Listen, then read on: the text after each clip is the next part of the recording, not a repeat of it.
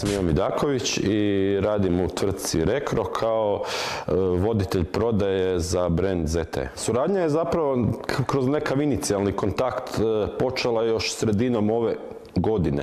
E, no, naravno, dok se riješila sva ta papirologija i sve to, možemo reći da smo s prodajom počeli krajem devetog mjeseca ove godine.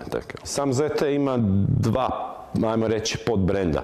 E, jedan je serija Blade, e, to su malo pristupačni uređaji namijenjeni mlađoj populaciji. A drugi je high-end, to je serija, to je serija Axon.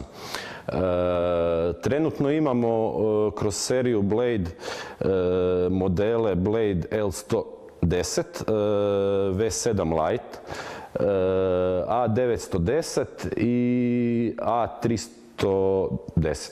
Zapravo nas su ti nekakvi inicijalni rezultati ugodno iznenadili. E, naime, iako ZT kao brand nije toliko poznat na našem lokalnom e, tržištu, e, ipak se prodavalo već dugi niz godina sam ZT kroz operatere, znači isključivo projektno prodavao svoje, svoje proizvode. Tako da brand nije totalna nepoznanica.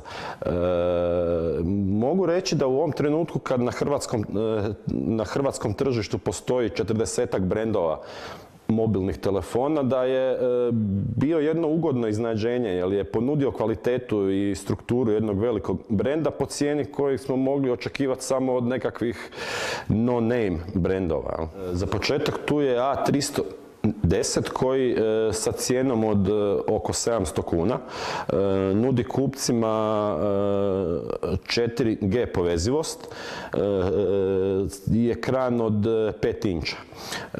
Dalje tu je V7 Lite koji uz cijenu od oko 1200 kuna u maloprodaji nudi metalno kućište i znači one fičure koji zapravo kupci u bar ovakvom segmentu danas žele. To je prije svega prednji flash, naravno tu je isto i 4G, e, IPS ekran, jel? E,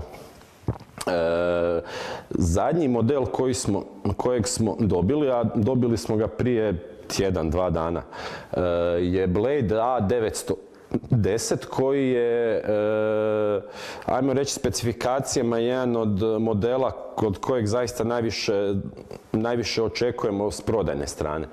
Znači, radi se o jednom uređaju koji je dimenzije ekrana 5,5 inča, e, ima 2 GB rama, 16 GB roma i e, jako dobre kamere. No ono što je zanimljivo kod svih tih uređaja je jako jedan slim dizajn. Znači to je naznaka nekakvog ZT-ovog dizajna koji ćemo očekivati u sljedećim modelima. Najprije će nam doći e, Axon 7 mini verzija, onda bi trebala doći recimo oko 5.12.